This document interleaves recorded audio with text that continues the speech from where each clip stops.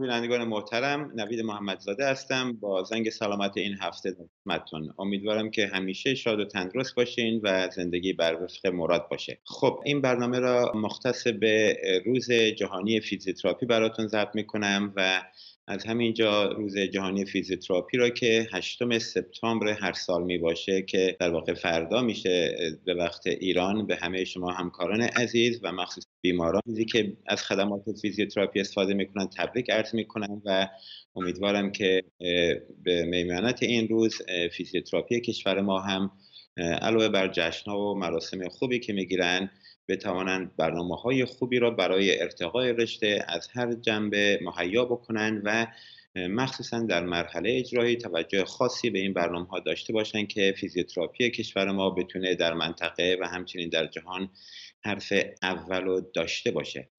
خب اداره هست در دنیا به اسم World Confederation of Physical Therapy که پارسال اسمش رو عوض کردن در ژنو و گذاشتن انجمن فیزیوتراپی جهانی. قبلا physical therapy بود که کردن فیزیوتراپی.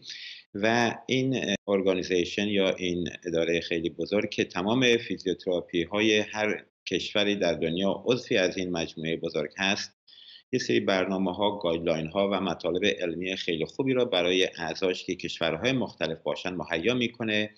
هر دو سالی یه بار یک کنگره داره و هر چهار سالی یه بار یه مجمع عمومی داره که در اون ده ها پالیسی و مطالب متفرقه را مورد بررسی و تحلیل قرار میده و تمام سعی و تلاشش بر اینه که بتونه مطالب اعضاش رو که کشورهای مختلف هستن رو بروز بکنه. کشورهایی که در آن هنوز ارتقای کافی انجام نشده باشه رو کمک می‌کنه که اینا فیزیوتراپیشون به استاندارد روز برسونن و دهها موضوع دیگه رو مرتب دنبال می‌کنه که پرزنتش برای بار دوم خانم دکتر اما استوکس هست که پارسال در ژنو رای گیری شد و منتخب شدن و خیلی خانم فعال و گوشایی هست و تمام سعیش اینه که مخصوصا به کشورهایی که در حال توسعه هستن کمک بیشتری بکنه که فیزیوتراپی این کشورها من جمله کشورهای افریقایی، آسیایی و همچنین خاورمیانه و همچنین کشور ما هم ارتقا پیدا بکنه. خانم دکتر ماستوکس چند سال پیش هم خیلی محبت کردن بنابر دعوت انجمن فیزیوتراپی ایران که آقای دکتر محسنی بندپی در اون زمان تلاش زیادی کردن به ایران تشریف آوردن و در همون کنگره هم شرکت کردن که خود اومدن ایشان به ایران باعث شد که دیدگاه همکاران نسبت به این رشته فرق بکنه و امیدوارم که در آینده هم همکاران و مخصوصا انجمن و board فیزیوتراپی ما بتونه گام های مؤثری رو برداره مخصوصا در رابطه با involve کردن و یا یک رابطه جهانی با فیزیوتراپی سایر کشورهای دیگه و مخصوصا انجمن جهانی فیزیوتراپی. برای اینکه این برنامه از محتوای خوبی برخوردار باشه امروز از آقای دکتر قهرمان دیوان بیگی هم دعوت کردم که با هم دیگه این برنامه را براتون تهیه بکنیم. ایشون رو دیگه می‌شناسین همه همکاران در داخل که با عرض سلام و روز بخیر به شما دکتر دیوان بیگی. اگه یک مختصری از بگیم برای بینندگانی که شما را ندیدن یا نمی‌شناسن که در ادامه در خدمتتون باشیم. با سلام به شما و تشکر از زحماتی که می‌کشین برای دادن اطلاعات مفید و بروز کردن همکاران در ایران که واقعا واقعا من شخصا خیلی خیلی ازتون تشکر می‌کنم. من فیزیوتراپیست و استئوپات هستم. ولی خب سالهاست صرفا به عنوان استئوپات مشغول به کار هستم و حدود 20 25 سال پیش اولین دورهای manual therapy رو در ایران گذاشتم و خیلی از دوستان و همکاران خوشبختانه سعادت اینو داشتم که در کارگاه های من شرکت بکنن و اینا. و قبل از هر چیز من هم روز جهانی فیزیوتراپی رو به همه تبریک میگم خصوصا همکارا در ایران.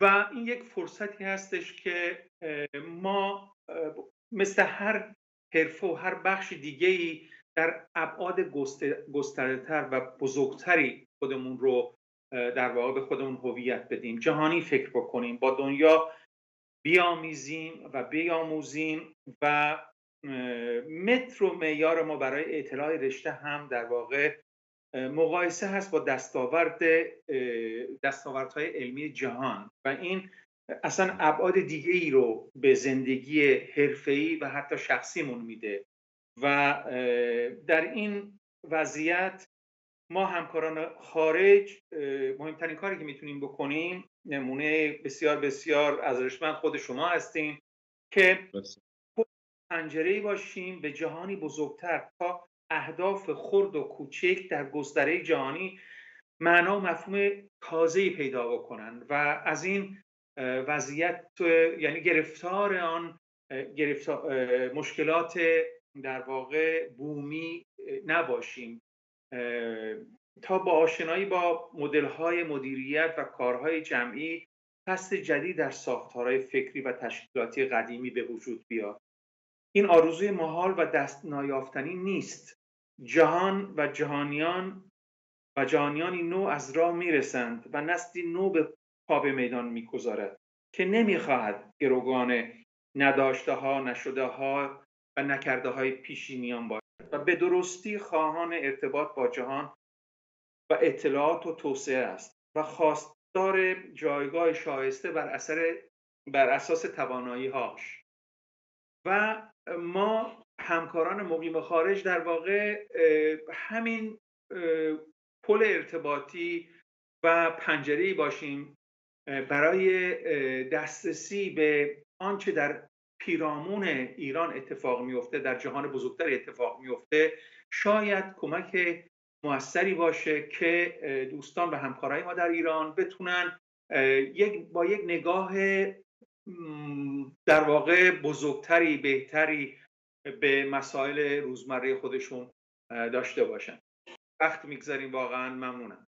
خیلی ممنون دکتر دیوان‌بیگی خیلی لطف کردین و با این بیان شیرینتون منم به همه همکاران فیزیوتراپیست در ایتالیا و سر و سر دنیا بازم این روز رو تبریک میگم و به نکات خوبی اشاره کردین. یکی از اونها که دلیلی که خود بنده هم این کار رو می‌کنم. ببینید من اینو به صراحت بگم که نه مزایای این کار نظر مالی برای بنده داشته نه مسئله دیگه فقط این همه زحمت می‌کشم به خاطر اینه که وقتی که آدم چندین سال در خارج زندگی می‌کنه و مخصوصا در خارج درس خوندی و کار کردی به چند نکته پی می‌بره یکی که اون سیستماتیک کار کردن دستت میاد از طرفی آموزش و تربیت دانشجو اینجا رو اصول انجام می‌گیره و از اون ورم expectation ها یا انتظارات جامعه از شما در حد بالاست و به همین خاطر بعد در 15 20 سال خود به خود توی مسیری میفتی که کارها رو به درستی و رو اصول و به طور professional انجام بدی و همین ها باعث شد که وقتی به تفاوت نوع کار و آموزش و غیره در کشورمون نگاه می‌کنیم به خاطر اون عرق ملیگرایی و وطن دوستی و وظیفه ایرانی بودن مثل خیلی از هموطنان دیگه که در خارج هستن اومدیم سعی کردیم در این چند سال یک کمک کوچکی هم به هموطنان داخل بکنیم که خوشبختانه خیلی خیلی مؤثر بوده همکاران همه اکثر این برنامه را نگاه می‌کنن و واقعا فیدبکی که از آنها به دستم می‌رسه خیلی زیاده. ولی خب به هر حال یه سری افرادم شاید حالا به دلایل مختلف هنوز اون بیداری درشون ایجاد نشده باشه.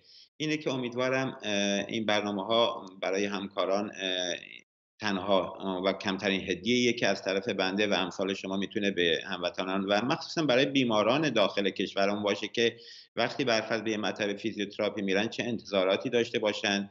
چرا که همه دیدیم که فیزیوتراپی واقعا در طی که دو دهه در تمام دنیا خیلی به طور وسیع پیشرفت کرد و در واقع یک جهشی داشت فیزیوتراپی از 50 سال پیش که در حد خیلی مقدماتی و basic شروع شد. بخوایم با الان مقایسه بکنیم شاید صدها پله را یهو جهش کرد و واقعا در این یکی دو دهه وقتی به کنگره ها و مقالات و اینا نگاه می‌کنیم و یا به treatment ها و متد درمانی در مطب ها و مراکز فیزیوتراپی آدم واقعا لذت می‌بره و به همین خاطر آدم وظیفشه که به هموطنان داخل و مخصوصا هموطنان واقعا از نظر هوش و استعداد خیلی خوب هستن ولی خب چهار تا رانمایی و نکته در کنارش می‌تونه خدمات خیلی بهتری برای بیماران ارائه بکنه.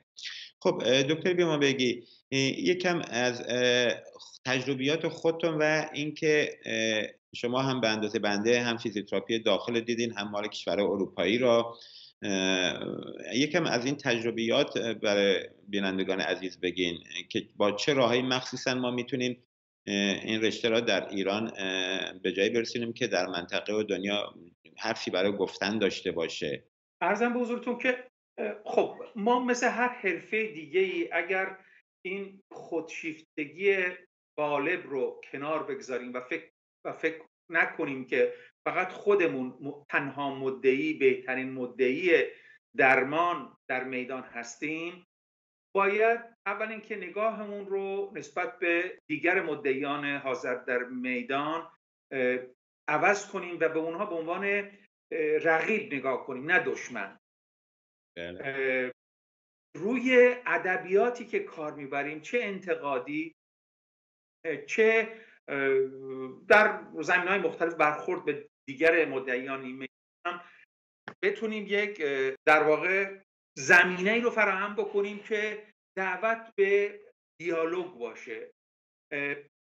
ببینید در همه جای دنیا در قسمت درمان های فیزیکال فیگورای مختلف دارن که می‌خوان در واقع ما را رقبا رو از میدون به در بکنن.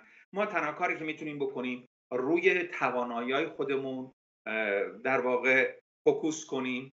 سعی کنیم ارتباط پیدا بکنیم با دستاوردهای مدرن جهان جدید جهان و بتونیم جایگاهی شایسته واسه خودمون تقبل بکنیم یک مسئله مهم هستش که خیلی آگاهانه بالغانه باید بهش توجه بکنیم. ما برعکس دیگر مدعیان میدان تکیه بر sponsoring قدری مثل sponsoring دارو تجهیزات پزشکی و آن بخشی که در واقع حل میده به سمت جراحی نداریم و بزرگترین سوء تفاهمی که جهان درمان و دارو گرفتارش هست و مرتب باز تولید می‌کنه این هست که مرتب به بیماری می‌پردازه. و کاری به سلامت و تعادل نداره و مرتب در حال خلق کردن بیماری های جدید نیازهای درمانی جدید نیاز به داروهای جدید هست.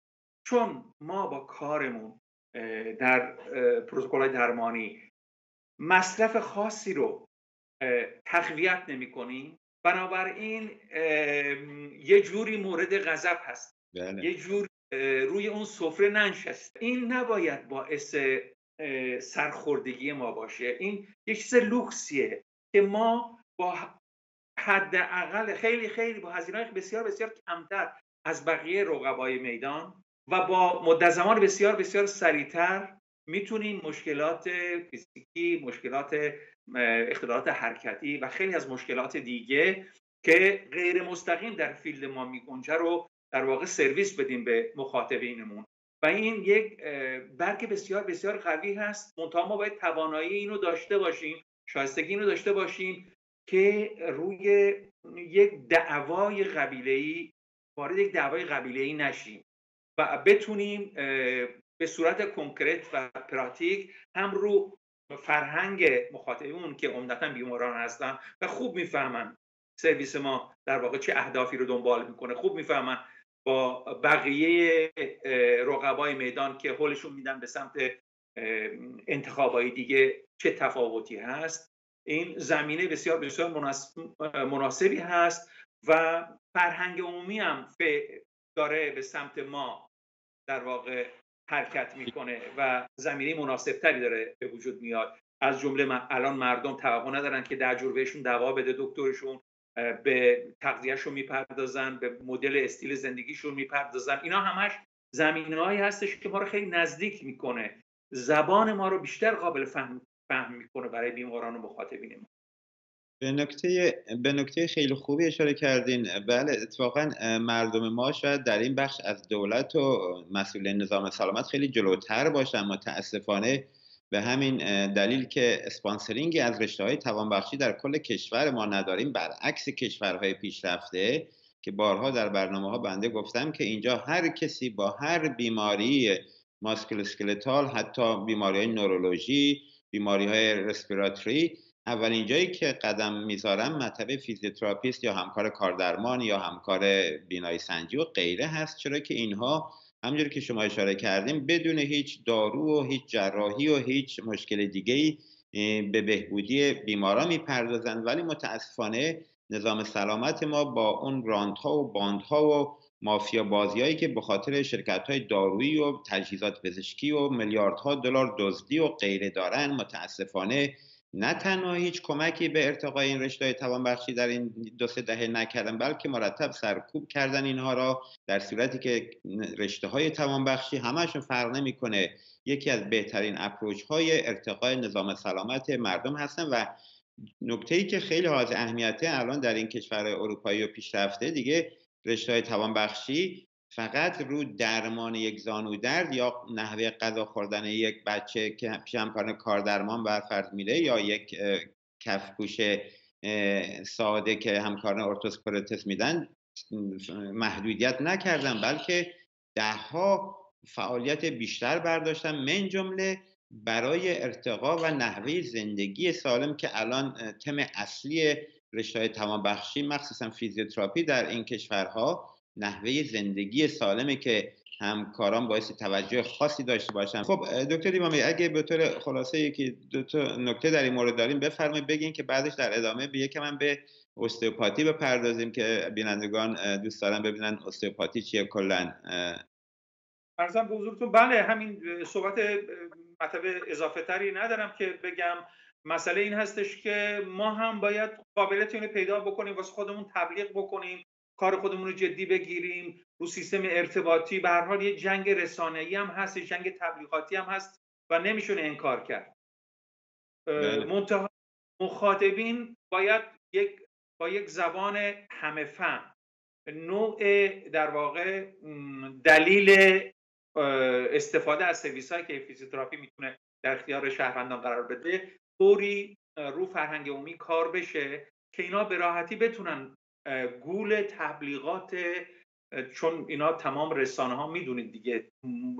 یک بمبارانی از تبلیغات واسه مصرف دارو جراحی های مختلف نیازهای در واقع قلابی که مرتب پمپ میشه توی رسانه ها ما هم به یک شکلی باید این توانمندی رو به هم بزنیم و بتونیم حضور داشته باشیم بدون شرمندگی و از جایگاه بسیار بسیار خوب و حتی نه حراسیم از برقرار کرد شرکت کردن مشترک با بقیه در واقع متخصصین مختلف برای پرداختن به نوع درمان یک موزه بله. خب خیلی عالی. دکتر بگید کلا استئوپاتی رو میشه تعریف کنیم و بگیم مدل درمان ها و تکنیکاش چجوریه؟ یکم اطلاعات به بینندگان بدیم بله استئوپاتی در اواخر قرن گذشته در توسط دکتر استیل در که خودش یک پزشک بود و به خاطر سه تا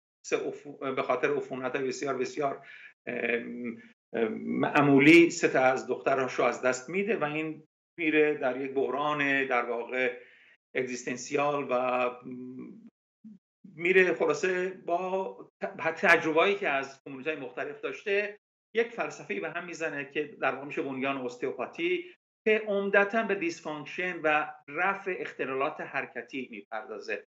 و میگه که اونجایی که حرکت در هر نقطه از بدن مختل میشه اونجا مشکل و بیماری شروع میشه.